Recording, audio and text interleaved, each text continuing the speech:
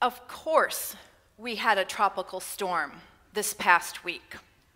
Of course we did. Of course it had a name, Eta. Of course it's the middle of November, and instead of looking at turkey decorations, we are looking at cones of uncertainty and feeling those rain bands. We had a tumultuous election this year that has not yet resulted in settled unity.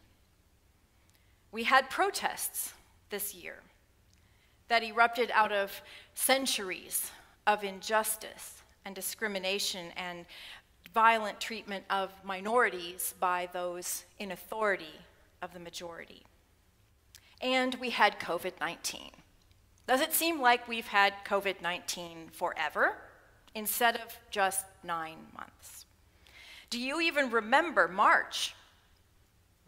Just this March, when everything changed. This March, it seemed to me that it was unbelievable that schools would close. Nothing but hurricanes, blizzards, bomb threats close schools. Schools do not close. Theme parks do not shut down. I didn't think it was possible. Then businesses began to close and only essential work continued. Back then, I admit to innocence and naivete, I thought it would be a short interruption. A couple of weeks, maybe a couple of months. By this fall, we would be back to normal. But we are not back to normal, or near normal, in this longest year. I thought that coming back to worship at Park Lake would feel normal.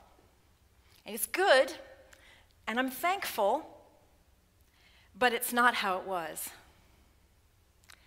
I miss hugs.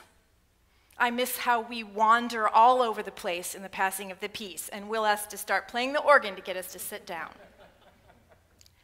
and I miss singing. Don't you miss singing? This year, there's actually been a new phenomenon that has been identified that is called COVID dreams. Have any of you had any COVID dreams? There's actually been some studies that say that there's this kind of uh, very vivid, kind of strange dream where everything's all jumbled up, and sometimes we're dreaming in metaphors that may have to do with social distancing or with financial worry. Sometimes in these dreams, there are images of zombies or tsunamis or spiders.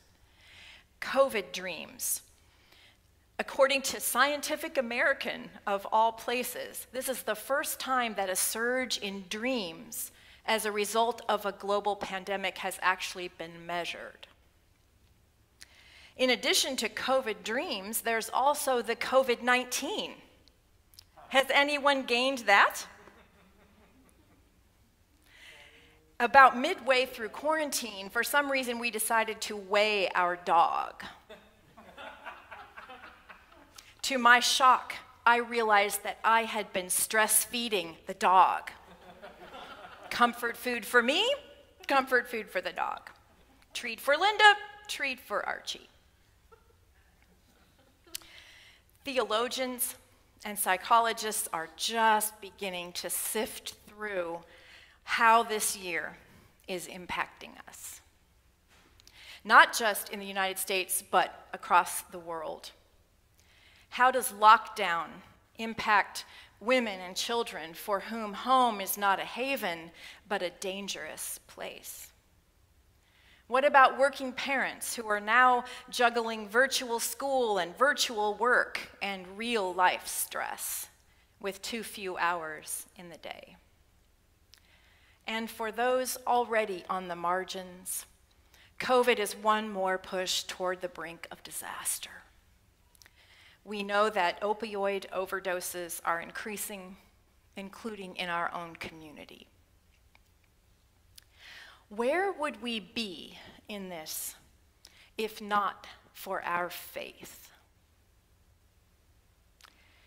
if it weren't for old words, wise words, living words, how would we know that this too shall pass? That God is in this with us? Psalm 90 remembers how many years God's people saw evil. Yet the psalmist trusts that God can make glad just as many days as they have seen affliction. God has been home for us for generations. Before there were mountains or the earth or the world, there was God.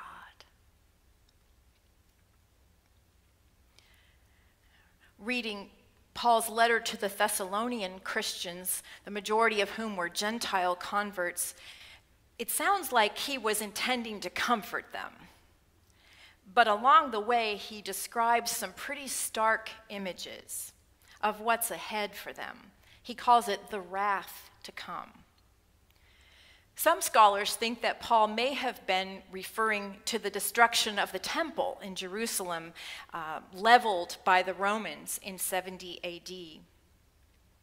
It's probably more likely that Paul is talking about the second coming of Christ, the parousia, or presence, it's called.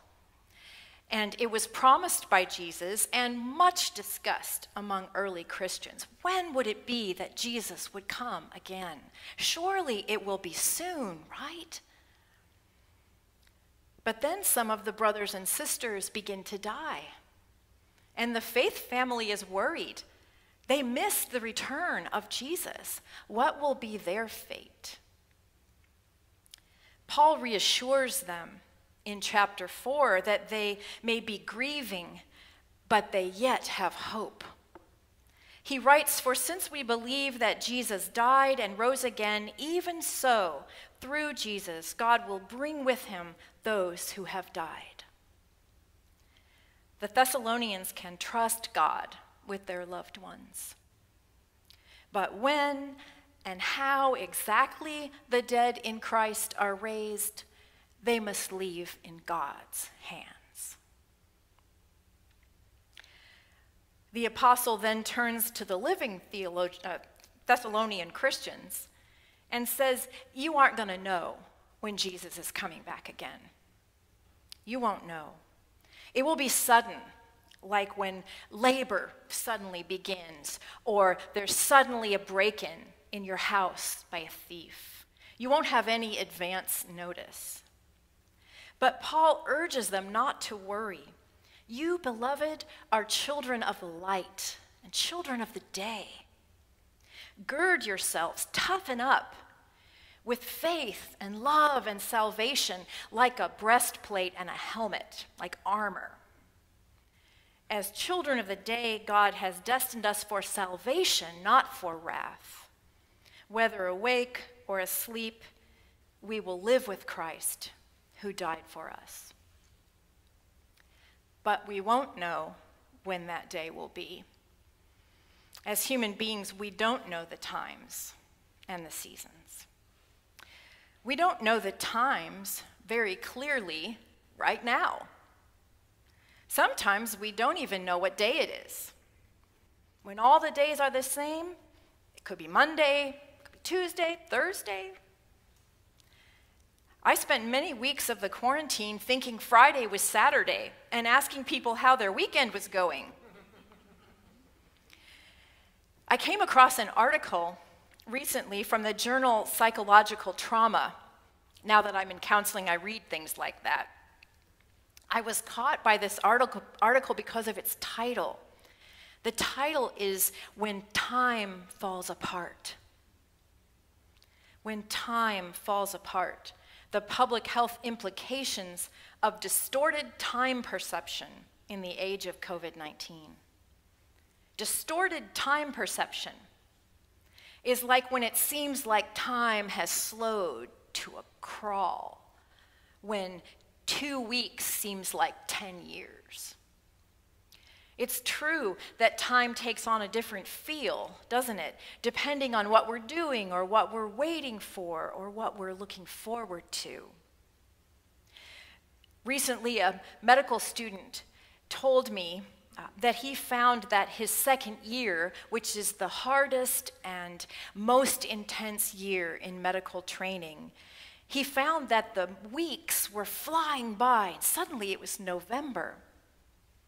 But the days, the days, hours of studying and lectures, all virtual, and more studying, all in the same room at the same desk, hours, sometimes 12 hours a day, the days seemed endless. It reminded me of the experience of new parents where days and nights of no sleep and exhaustion seem endless. But suddenly you turn around and your newborn is walking. And then you turn around again and they're driving. Is Christmas coming soon? Objectively, it's 40 days from today. Some of you may gasp and say, Oh no, that's too soon, I will never be ready. But there are others who will say, I can't wait that long. And what will Christmas bring in this longest year? We don't know. We cannot know with any certainty. One of the ways that a trauma like a pandemic, affects us is that trauma can peel away the facade of the future. Suddenly, it forces us to live in the present moment and not be exactly sure what the future will be like. The writers of the article about distorted time perception recognize this era of profound uncertainty and fear about the future. For many people, some among us, the future was something we just assumed. We just assumed we would work, we would retire, we would visit family, we would travel. For the young, the future seemed set. Go to school, take exams, make new friends, go on dates, have graduation, go to job interviews having a future orientation is essential for well being and morale, the article says, especially for coping with adversity. It's particularly important for the young to have a hopeful, goal oriented future orientation. The pandemic has called into question many of our expectations for the future Will we be together again across generations before it's too late for some? Is this how life is going to be from now on? Or just until a vaccine? And then life will be the way it was before? Or will it be something different? Is this a, a wrinkle in the space time continuum or a whole new world? One way one healthy and hopeful way that we can respond to this time of uncertainty is to take control. Take control of anything, no matter how small, anything we can. Do what's possible and safe. We can rewrite our own personal story, our timeline, and fit the pandemic into it. What can we say about it? What it has changed, how it has changed us. Maybe we don't want to go back to how things used to be. Maybe we want to go forward and be different. How have we experienced God during COVID? Here at Park Lake, we have certainly learned that God is not locked down in this building. We have learned that, haven't we? Our faith community of Park Lake reaches beyond walls and beyond bricks and mortar. beyond Orlando and even beyond Central Florida. We are worshiping with others in our Christian family who are very far away from us physically, and that is joyful. We have learned how precious faces and smiles are, and handshakes and hugs. It's possible for us who have known the privilege of counting on things and feeling secure in what the next day would bring, that we can grow in compassion for those many in the world who never have that privilege. Most people in the world cannot count on things being secure from day to day and year to year. With our time distorted, our sleep disrupted, our financial security perhaps blown out the window, even the steadiness of school now strange on a screen. Where shall we find our hope? Friends, let us draw deeply from our faith. Let us talk with one another and with our children and young people about how this, even this, is not bigger than God. This pandemic is not out of time and out of possibility that God is in it. God is moving and healing and bringing new life, even as we speak. We are children of the day and of the light. What chaos is around us and sneaks into our sleep is not mightier than the Lord of life, the God of love, whose beloved Son died for us and rose again so that we would be raised to new life and abundant life with him. A big, huge change happened this year. But we are not alone in it. We are not lost. We are not floating in darkness and wandering without a map. We belong to God, who is for us refuge, dwelling place, home. Amen.